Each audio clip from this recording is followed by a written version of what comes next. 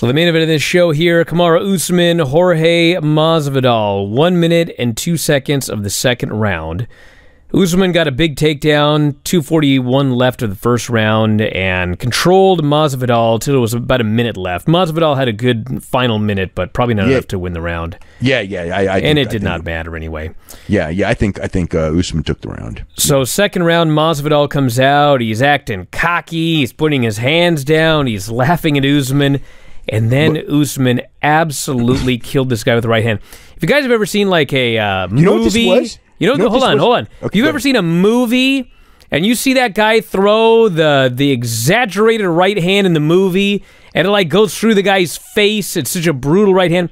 This was a this was a right hand straight out of a movie. I mean, he just threw this right hand and he spun the dude's head around, and this guy is out. He was he was out on impact. I mean, like you like you see, like he gets hit and his body, like he has no control of his body. Like he's just, however he was going to fall is how he was falling. There was like no control or anything, and and he didn't even know what happened. Well, when he was starting to fall straight down, like just collapse, but he actually got shoulder checked on the way down, which caused him to bump backwards. He landed on his head and sort of started to wake up, but then Usman just hammer fisted him until the referee stopped it. I mean, it was the first ever time that Jorge Masvidal has been knocked out. I think he got knocked out once, like by Rodrigo Damm. Actually, I Well, know they he kept saying claimed that. he claimed he had never been knocked out before, and fair and square, he said, happened right here in front of my friends and family. But all uh, God bless this guy, he won, and uh, yeah, it was a brutal, brutal knockout.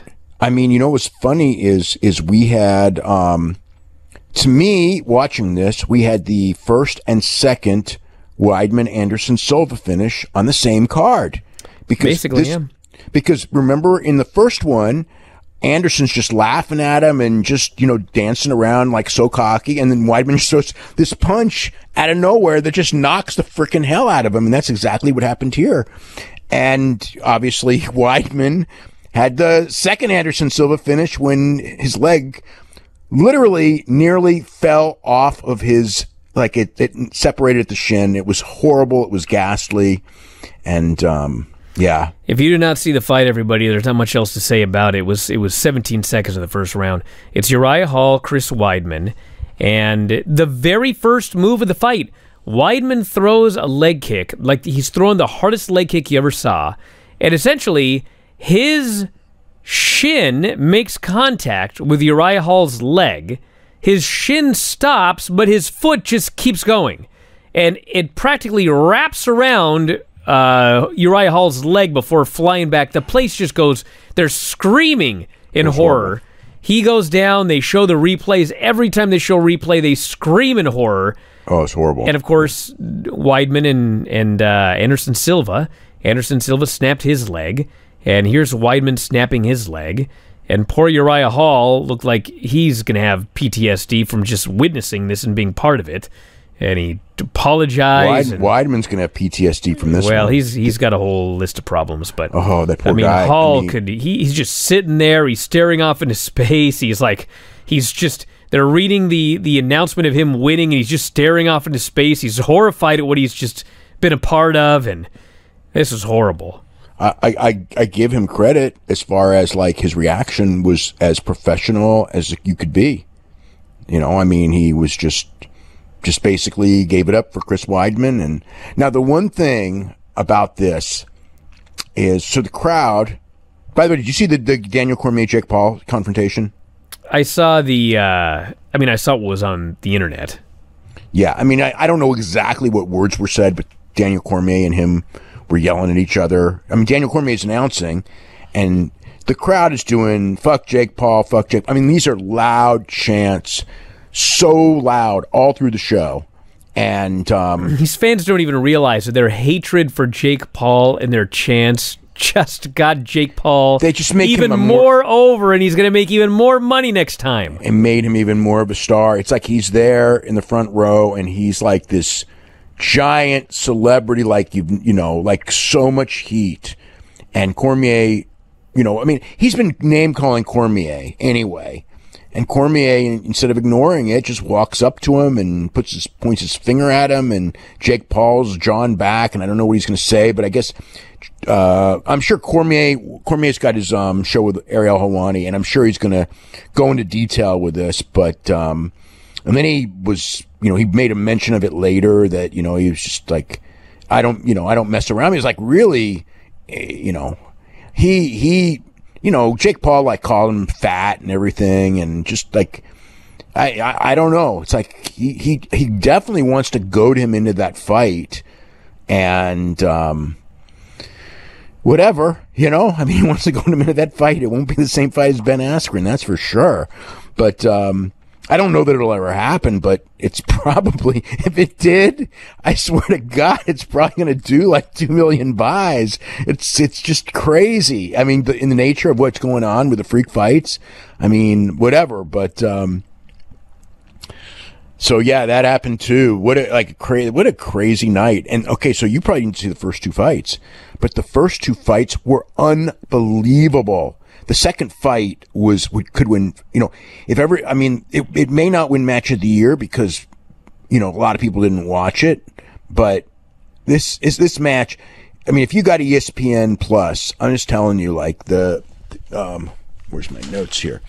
Because it's actually fighters that like most people don't even know, but it was um, hold on, where is my notes? Okay, so it was Jeff Molina and Oric, uh, I can't even spell. It's a Chinese fighter, but it. Um,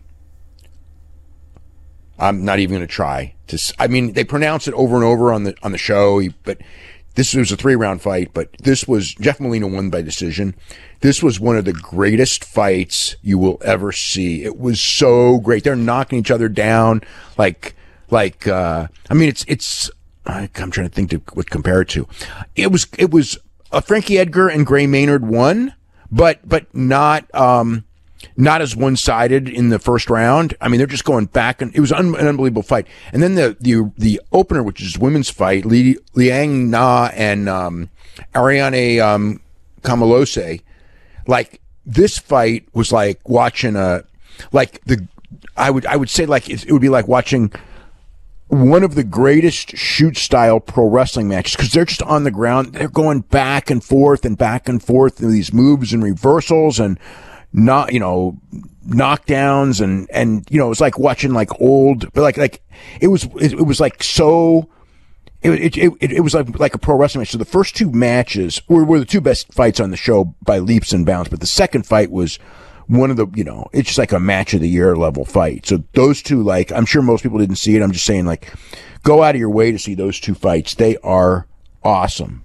So, all right. So back to the main card. The opener also a leg injury. Anthony Smith and Jimmy Crute.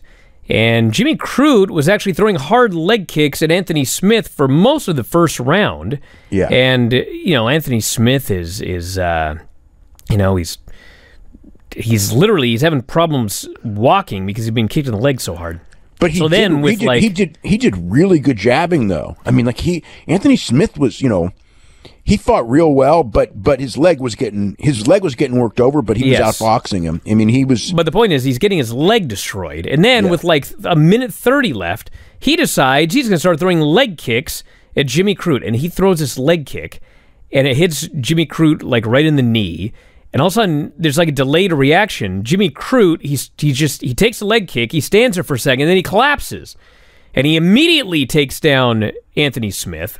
And Smith is fighting, and he finally gets to his feet, and and Crute's literally he's on one leg. He gets a second takedown off. He's on one leg. He gets a with takedown. one leg. He got two takedowns. Yeah. So the the round ends, and they start going to their corners, and Crute cannot walk. His his he's he's, leg dra- he, he's got he's dragging his foot. So yeah, his leg is not his foot does not work.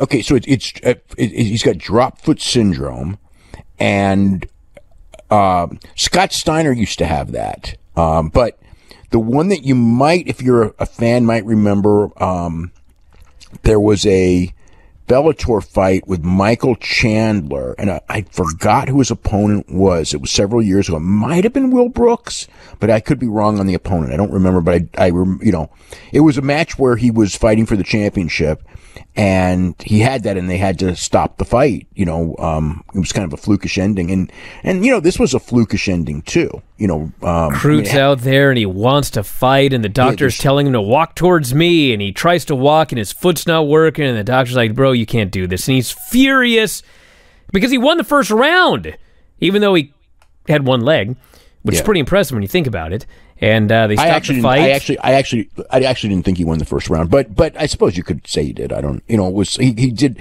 he did get two takedowns, and um, you know, but but I just thought Smith did more damage with the with the jabs. Yeah, but he was throwing the he threw leg kicks for the first half of the round. He, he, he was beating up Smith's legs, two takedowns. He, you know, I you could argue it. I mean, it's like, um, yeah, he did good leg, he did good leg kicks, you know, but, um, but Smith outboxed him. But anyway, um, he couldn't go on after the first round.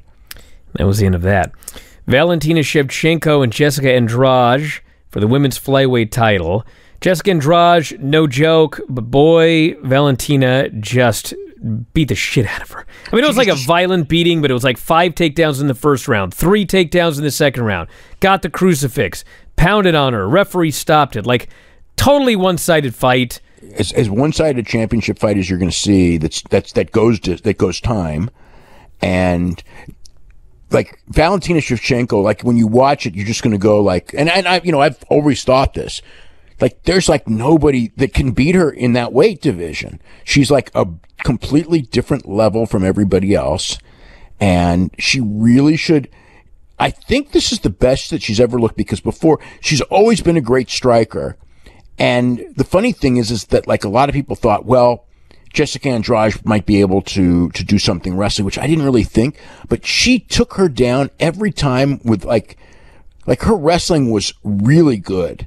Um, she's she was a much better fighter than before. I really want to see her with Amanda Nunes go up to 135 and fight Amanda Nunes. Um, I mean, it's happened twice already, but it's all she's also the only one who can beat Amanda Nunes if she can even beat her. I don't know. I don't know that she can, but there's not a 135er that will give Amanda Nunes a better fight than um, than Valentina will.